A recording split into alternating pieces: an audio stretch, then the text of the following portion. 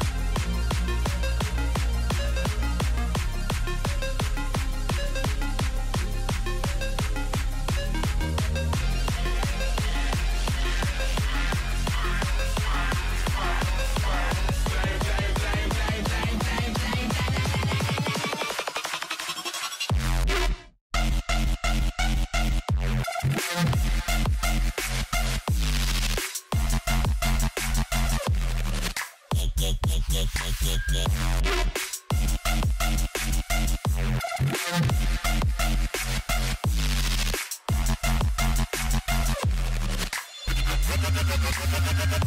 back.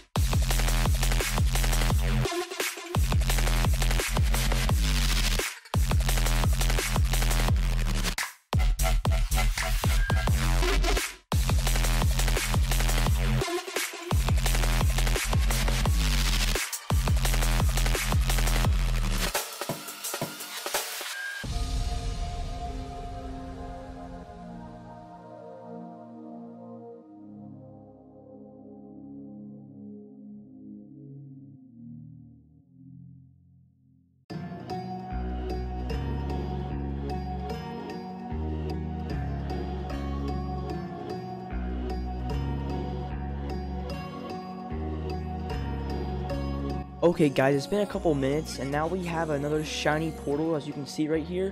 Now we have two of them which is like which will help so much for getting more coins and selling. So now we're about to sell 500 nonillion strength and let's see if we get enough. I'm pretty sure it costs like 49 QT.